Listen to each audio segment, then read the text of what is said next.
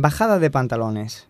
Así ha calificado la concejal del Grupo Popular, María Jesús Botella, la gestión del gobierno local en la renovación de la empresa CLECE para el servicio de ayuda a domicilio, un servicio que se trató de municipalizar. Además, Botella ha criticado duramente que el ayuntamiento amplíe un euro los 13 que destina la Junta de Andalucía a pagar a los trabajadores que prestan este servicio, ya que, asegura, se le ha de exigir a la administración regional.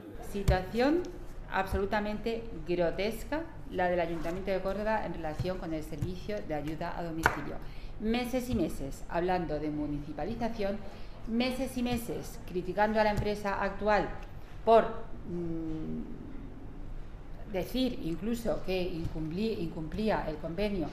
de los trabajadores y sin embargo al final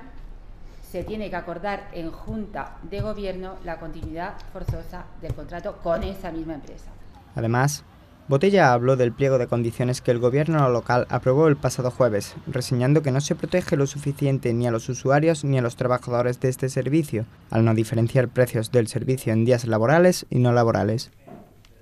No se protege suficientemente los intereses de los usuarios de la ayuda a domicilio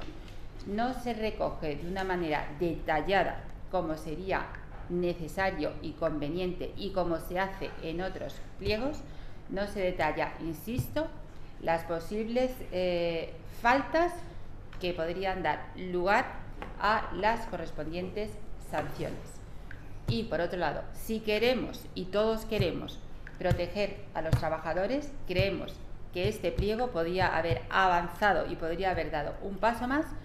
y diferenciar el precio hora de ayuda a domicilio en días laborales del precio hora de ayuda a domicilio de los días de fiesta y domingos.